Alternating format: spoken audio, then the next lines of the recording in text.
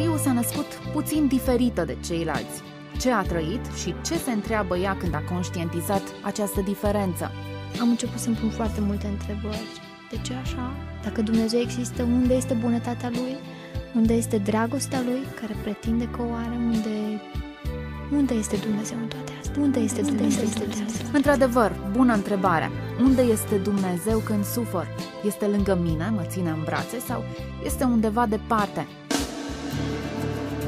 Iisus Hristos poate să schimbe și viața ta prin puterea Lui. Poți avea un nou început. Libertatea și satisfacția de plină ce am primit-o în Dumnezeu, n-am mai reușit să o primesc din altă parte. Înainte de a-L cunoaște pe Dumnezeu, viața mea era nonsens. Sunt un om fericit. Numai Dumnezeu a făcut asta în viața mea. Vieți transformate.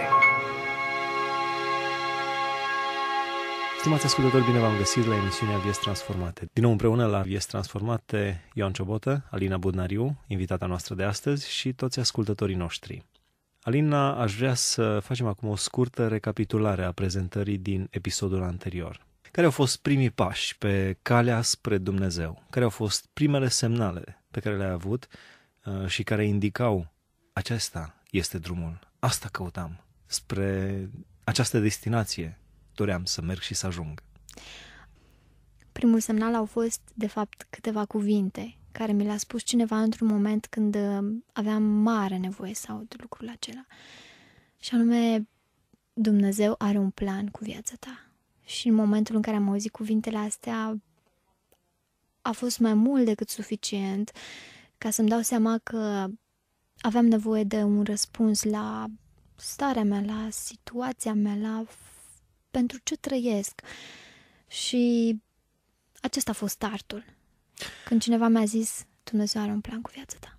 Dragul nostru prieten și ascultător, vrem să spunem aceleași cuvinte. Dumnezeu are un plan pentru viața ta. Poți să fii fericit dacă împlinești planul lui Dumnezeu pentru viața ta și dacă vrei să intri în planul lui Dumnezeu și să te afli acolo unde te vrea Dumnezeu sau poți să fii total nefericit dacă refuzi oferta pe care ți-o face Dumnezeu să fii în planul Lui. Aveam multe de uri în mintea mea, dar cel mai mare de ce, pentru că mă aflam la vârsta adolescenței, eram în jurul vârstei de 17 ani când, ca orice adolescentă, visam, aveam, făceam iluzii cu privire la viitorul meu, cu privire la prieteni, cu privire la o carieră și mi-am dat seama că nu sunt ca ceilalți oameni. Și pentru că nu sunt ca ceilalți oameni a apărut un prim de ce. De ce nu sunt? Dumnezeu a îngăduit să mă nasc un uh, handicap fizic, mai precis o parte din uh, antebrațul stâng nu l-am, așa a îngăduit Dumnezeu să mă nasc. Și lucrul ăsta m-a făcut să devin foarte complexată și să mă închid în mine. Și mai mult decât atât am început, am început să-mi pun foarte multe întrebări. De ce așa? Dacă Dumnezeu există, unde este bunătatea Lui? Unde este dragostea Lui, care pretinde că o are? Unde, unde este Dumnezeu în toate astea? Dumnezeu răspunde în funcție de sinceritatea inimii noastre. Și dacă îți, dacă îți faci timp și dacă îți deschizi inima să-L asculți, dacă nu-ți faci timp să, să-ți deschizi inima și să lași pe El să-ți vorbească, îți vorbește. Sau poate că îți vorbește, dar tu ai prea multă gălăgie în jur ca să nu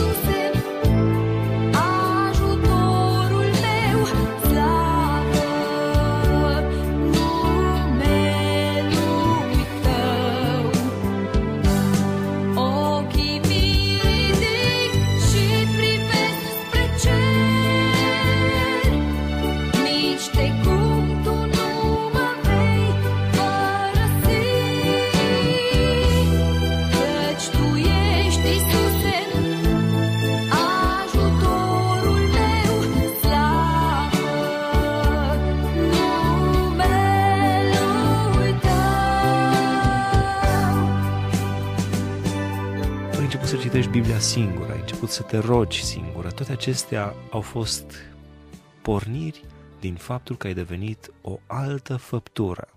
Căci dacă este cineva în Hristos, este o făptură nouă, spune Biblia. Toate cele vechi s-au dus, iată că toate lucrurile sunt noi. Ai fost o făptură nouă. Dar aveai nevoie și de părtășie și radioul nu putea să-ți suplinească această nevoie. Cum ți-ai împlinit această nevoie de părtășie cu alți credincioși care se închinau în același fel, în duh și în adevăr, din toată inima, lui Dumnezeu Tatăl și doar lui Dumnezeu Tatăl? Am început să iubesc Biblia atât de mult încât îmi era una din cele mai dragi prietene ale mele.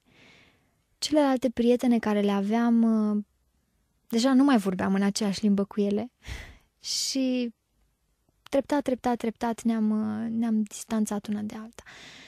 Dar mi-a rămas uh, Biblia. Și poate că cineva mă va judeca pentru că spun lucrul ăsta, poate mă va crede, știu eu, superstițioasă sau, nu știu, poate să creadă orice, dar de multe ori când eram în, în situații limită sau vreau neapărat să vorbească Dumnezeu, eram ca un prun care de fiecare dată aveam nevoie de ceva, aveam nevoie de mângâiere, aveam nevoie de încurajare, aveam nevoie să fiu sigură că ceea ce fac este bine. M-am confruntat foarte mult cu îndoiala. Nu știam dacă ceea ce fac este bine. Și deschideam Biblia la întâmplare. Și nu știu dacă a fost vreodată când Dumnezeu să nu vorbească. De fiecare dată puneam ochii pe cât un verset care era special pentru mine. Și acum când văd că versetele respective, începeam să le subliniez, și acum când văd că versetele respective sunt de fapt încurajări pe care majoritatea credincioșilor le cunosc, eu nu le cunoșteam atunci. Majoritatea credincioșilor le cunosc. De exemplu, Isaia 41 cu 10. Eu apar n-aveam că există cartea Isaia, abar n-aveam că acolo este versetul 41, capitolul 41 cu versetul 10. Nu știam, pur și simplu le-am găsit la întâmplare, cerându-i lui Dumnezeu să-mi vorbească. Și pe lângă nevoia de a citi din Biblie și de a o înțelege, a apărut nevoia după părtășie. Muream când eram la școală și nu puteam asculta Radio Voce Evangheliei. Abia stăteam pe bancă, abia stăteam în bancă când știam că este Radio Voce Evangheliei. Vorbeam cu colega mea, parcă eram uh, pusă în priză și în timpul orelor vorbeam și tot timpul vorbeam cu ea și îi spuneam, uite ce am mai descoperit în Biblie, uite ce am mai auzit la radio.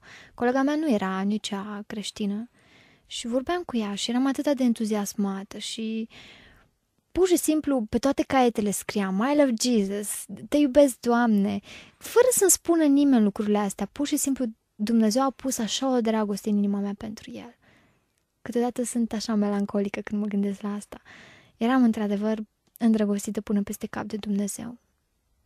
Îndrăgostită în sensul că am găsit în sfârșit pe cineva care mă iubește așa cum sunt. Și pentru că nu puteam asculta Radio Voce Evangheliei mereu, și chiar dacă aș fi putut asculta, simțeam nevoia să stau de vorbă cu oameni. Colega mea am înnebunit-o, pur și simplu, toată ziua vorbeam cu ea, cât eram la școală. Acum este și ea un copil al lui Dumnezeu. Slavă lui pentru asta și când mă uit la ea așa îmi dau seama că ce poate face Dumnezeu în viața unui om atunci când se atinge de inima lui. Și pentru că am simțit uh, nevoia asta după alți oameni, după alți credincioși cu care să vorbesc, cu care să mă rog, am început să caut biserici evanghelice. Pentru că era la liceul pe care l-am frecventat, era o colegă care știam eu că este pocăită, știam eu că este credincioasă lui Dumnezeu. Nu știu de ce am căutat-o pe ea, nu știu chiar de ce am căutat eu pe cineva pocăit ca să, să se roage împreună cu mine. Nu știu, sincer. Dar uh, am căutat-o pe ea și atunci am început să frecventez o biserică care era destul de departe de casă. Și mai ales iarna, mama mea se îngrijora atunci când veneam târziu acasă și am zis nu se poate, locul meu e în altă parte. Și am început să merg uh, în Burdujeni, eu, stau, eu locuiesc în cartierul Burtujeni, din Suceava și biserica asta este mai aproape. Era mai aproape decât cealaltă. În schimb, fiind o biserică foarte mare, nimeni, nimeni absolut nu a stat de vorbă cu mine. Intram cum intram, așa ieșeam și vreau mai mult. Și am început un an de zile m-am rugat pentru părtășie, pentru oameni cu care să mă rog, cu care să mă întâlnesc, cu care să vorbesc, până nu mai pot despre Dumnezeu și asta vroiam. Și ca să nu intru în prea multe detalii, am fost uh, în vara anului 1998, deci e un 97 spre final. I-am deschis inima mea lui Dumnezeu. Și în vara anului 1998 am fost într-o tabără creștină și acolo am cunoscut o fată din uh, Timișoara, care i s-a lipit inima așa de mine și am început să corespondăm prin scrisori și povesteam ei tot ce, ce simțeam și ea, parcă anticipând, înainte să îi trimite un răspuns, dacă vedea că întârzi, îmi trimitea ea încă o scrisoare, anticipând parcă nevoia mea, îmi răspundea exact, exact ceea ce, exact ceea ce aveam nevoie. Dar bineînțeles că tabăra aceea n-a făcut decât să-mi amplifice nevoia după părtășie și i-am ex- mi-am exprimat această nevoie într-o scrisoare Danei și atunci mi-a scris și mi-a zis dacă biserica în care mergi nu te schimbă, schimbă tu pe ea. Dacă biserica în care mergi nu te schimbă, schimbă tu pe ea. Și atunci m-am gândit, biserica asta la care merg acum nu mă împlinește pentru că oamenii sunt prea... Nu mă cunosc pur și simplu, au, au impresia că sunt de-a lor, dar de fapt nu eram de-a lor. Eram într-un fel de-a lor, dar nu-i cunoșteam, nu-i ei credeau că sunt de-a lor, dar de fapt aveam nevoie de ei, aveam nevoie să stea de vorbă cu mine și ei nu făceau asta. Și atunci Dana mi-a scris lucrul ăsta și eu am luat-o ca din partea lui Dumnezeu. Nu știu de ce am luat-o ca din partea lui, probabil așa a fost planul lui. Cu puțin timp înainte de a-mi scrie Dana lucrul ăsta, am fost Pur și simplu a fost o întâmplare. Am vizitat biserica în care merg acum, Biserica Betel din Burtușeni, Biserica Creștină după Evanghelie, din Burtușeni, Suceava. A fost o pură întâmplare atunci. Pur și simplu mă pornisem spre biserica la care mergeam de obicei și m-am întâlnit cu cineva pe drum, cu o prietenă de a colegii mele de bancă, care acum a început și ea să meargă la biserică.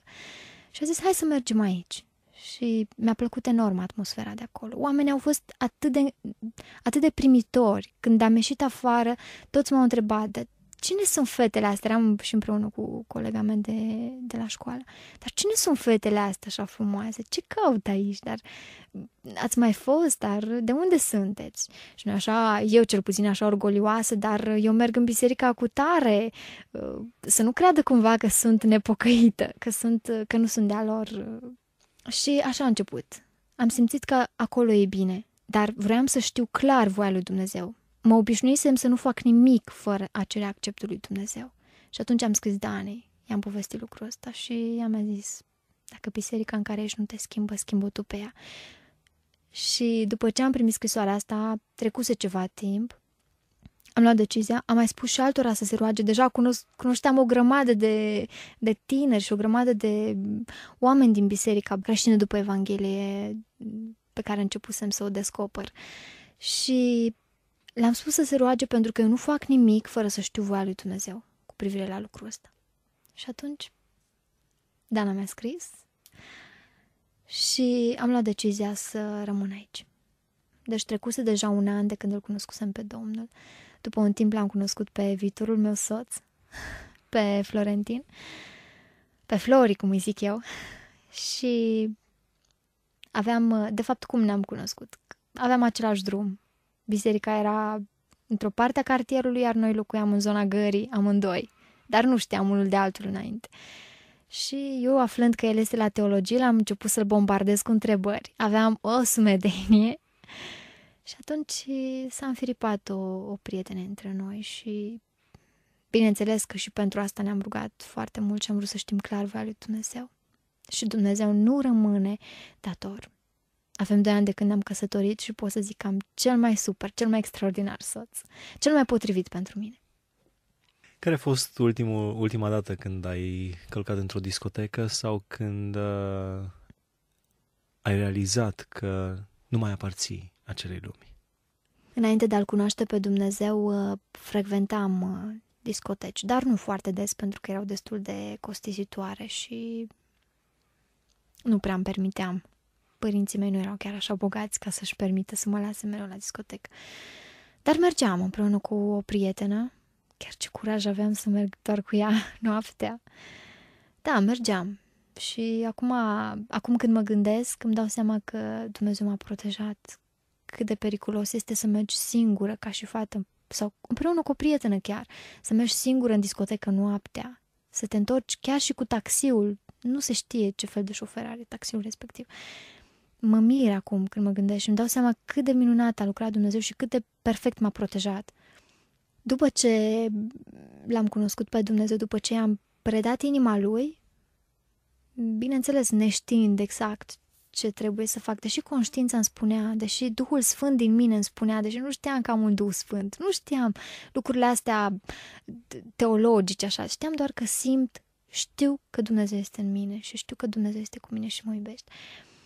Am mai mers odată la discotecă, însă a fost ceva groaznic, am simțit că mă aflu în iad. Am stat un pic și apoi uh, am urcat la balconul discotecii și am început să plâng privind totul în jur și am zis, Doamne, ce caut eu aici? Ce caut eu aici? Nu este locul meu aici. Fără să mi se spună că e greșit, eu am înțeles că nu am ce căuta acolo, că nu e locul meu acolo. Și de atunci n-am mai căcat într-o discotecă.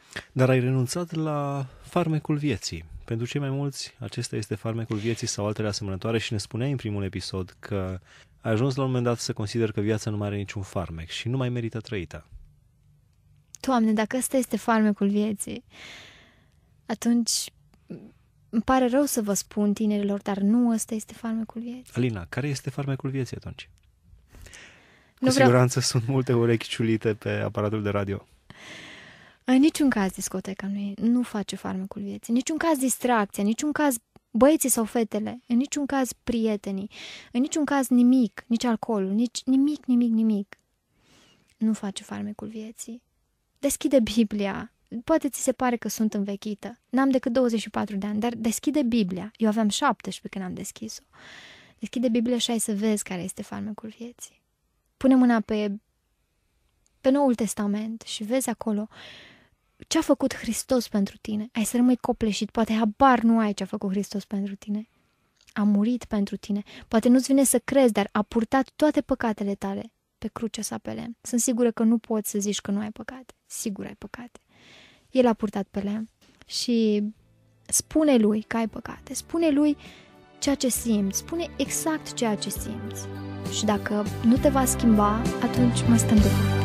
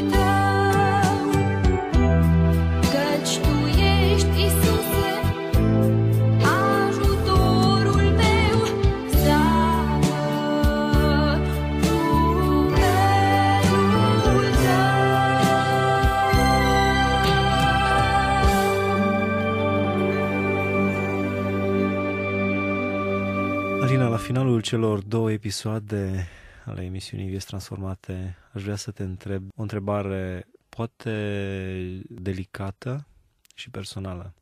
Dacă ai avea toată mâna stângă, ce ar fi deosebit? Te-ai gândit vreodată la întrebarea asta? Cu siguranță te-ai gândit. Cu siguranță aș fi ajuns în altă parte. Mulți mi-au zis, dacă tu ai fi avut și mâna stângă întreagă, sigur ai fi ajuns un fotomodel, sigur ai, sigur ai fi ajuns Miss undeva, într-o țară. Sigur n-ai fi fost în România și sigur n-ai fi fost la Radio Vocea Evangheliei. și Sigur, Asta nu înseamnă că Radio Vocea Evangheliei este ceva de jos, ci este un loc foarte important în care Dumnezeu te-a condus pas cu pas.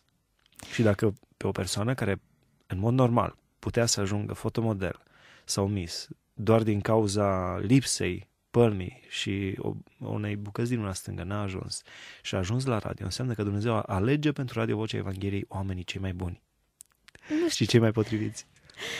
nu știu dacă e chiar așa, dar știu clar că tot ceea ce am am de la el și tot ceea ce a pus, tot ceea ce pot da altora este pentru că Dumnezeu a pus în mine.